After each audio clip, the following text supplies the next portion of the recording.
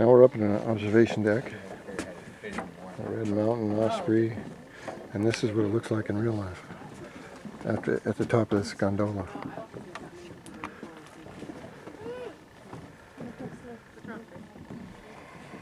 So way high up.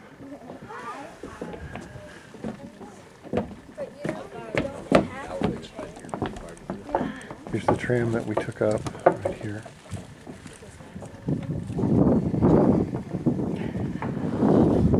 Ride in these little cars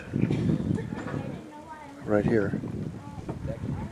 All the way up this seven minute ride all the way down.